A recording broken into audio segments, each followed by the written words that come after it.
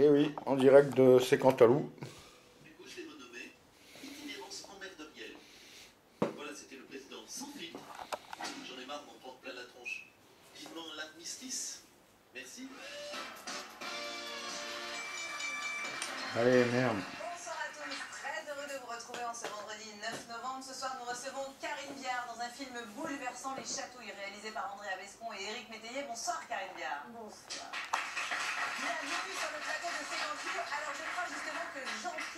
Va nous pitcher le film. Ouais. Ouais, ça, ça- salut Sandra, euh, salut Karine. Donc tu es, à l'affiche du film donc les, les Chatouilles. Donc c'est l'histoire de- d'Odette, c'est c'est une enfant qui est abusée par un ami de ses parents et, et toi, toi, tu, tu- tu joues la, la maman d'Odette. Voilà, donc le sujet c'est la reconstruction d'un enfant à partir de, de violence. Donc, euh, voilà, et, et là-dessus, je dois dire un truc euh, drôle. Voilà. Évident, ouais. En fait, non, je, je- je- je trouve, trouve super sur les actrices euh, dans, dans le domaine du handicap, parce qu'en fait, elles, elles jouent Odette. Oh, et Odette, elle ne se, rend- elle se rend pas compte que ce- son, son enfant est abusé, elle est aveugle quasiment. Dé- déjà dans la, la famille Bélier, tu étais sourde et muette, là, aveugle. C'est quoi ton prochain rôle? C'est une championne d'athlétisme unijambiste Euh, ce film, euh, Karine, au-delà du drame, il y a aussi une formidable résilience qui est celle d'Andrea Bescon, euh, la réalisatrice qui, elle, elle, a vécu ce drame. Oui, oui, oui, effectivement, c'est, c'est- ça part de son histoire. Après, elle, a une façon de le raconter qui, distance un peu hein, sa propre histoire et qui la, transcende. Mais effectivement, c'est, extrêmement fort parce que c'est extrêmement fort parce qu'en fait, il y a une vitalité extraordinaire qui, vient du fait qu'elle lutte au quotidien pour, euh, se sortir de cette histoire qui, qui aurait pu l'achever et qui, au contraire, l'a rendue plus forte et qui lui permet aujourd'hui de raconter cette histoire de façon euh, extrêmement digeste, je dirais. Ouais, et pour quand que les gens l'entendent haut et fort. surtout. Voilà. Vous aviez vu la pièce Les, les Chatouilles avant le Oui, bien sûr, bien sûr. J'avais lu la pièce et ça m'avait tellement plu. J'ai tellement aimé euh, l'interprétation d'Andrea, qui est une femme assez, assez exceptionnelle parce que, parce que très profonde, très solaire, euh, très sympathique, très intelligente.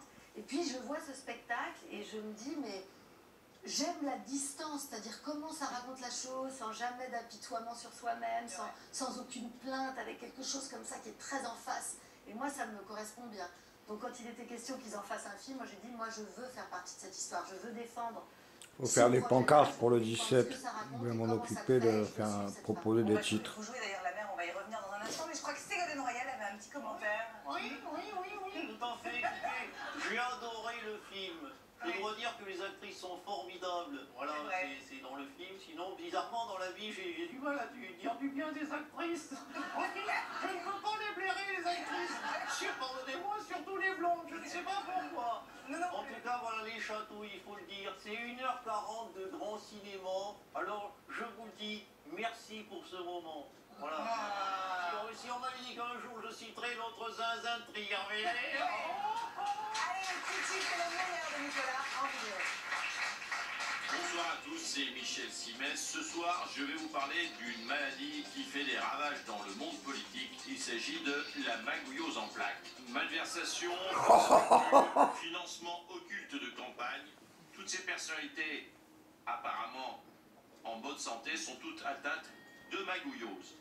Les symptômes peuvent être bénins comme une mezzanine non déclarée ou beaucoup plus grave comme un compte en Suisse.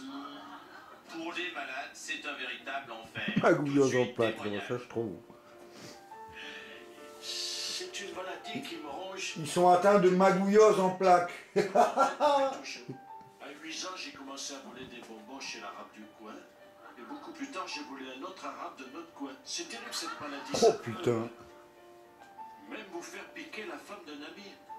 Ou agresser une petite vieille. Je crois que j'ai même contaminé toute ma famille politique. Je suis un grand malade. Moi, François Fillon, j'étais contaminé par ma femme, cette feignasse. Pourtant, j'étais un, un jeune homme honnête. Puis j'ai détourné du fric pour m'acheter des montres de luxe, des costards, des bateaux, des bagnoles. Euh, c'est très dur de vivre avec cette maladie. Un jour, j'étais honnête et innocente. Et le lendemain, vous savez quoi? Je détournais l'argent public européen pour financer mon parti. J'ai même viré mon père de l'entreprise familiale. En même temps, c'est lui qui m'a enfilé le magouilleuse. Hein, donc il a bien cherché. Attendez, juste une chose, euh, rassurez-moi. Oui. Je suis anonyme. Oui, pas de souci. Parce que j'ai assez de problèmes comme ça en ce moment. Heureusement, la médecine a fait des progrès. Et aujourd'hui, on peut vivre très vieux avec la magouillose.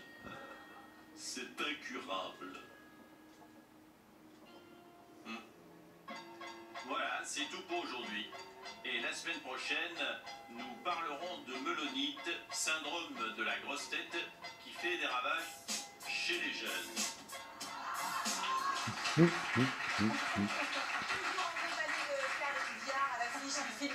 C'est un film choc, Karine, mais est-ce que c'est un film grand Bah, moi je trouve. Alors après, grand public, si t'as envie juste de, de divertissement, de trucs con-con, euh, c'est pas grand C'est pas le bon film. Non, c'est pas le bon film. Mais moi, je trouve que c'est grand public d'abord parce que ça aborde un sujet qui est tout à fait, euh, tout à fait abordable, euh, qu'on peut voir avec, euh, avec des enfants, moi je dirais à partir de 10-11 ans. Quoi. Ça permet quand même d'ouvrir, le, d'ouvrir la discussion avec ses enfants. Je pense que les enfants vont beaucoup aimer ce film et les parents aussi. Et c'est l'occasion voilà, de, de parler de choses qui ne sont pas évidentes, parce que Ouais. ça se parle dans les écoles, ça se parle dès la maternelle quand même. hein. On ne doit pas te toucher, si un monsieur vient, te, te- ton corps c'est ton corps, ce n'est pas celui de l'autre et tout. Donc je trouve que oui, que c'est un, un- un sujet à débattre en famille. Et, et- et- La résilience est magnifique. Absolument. Le en merci c'était trop bon, ça. Vivement la manif.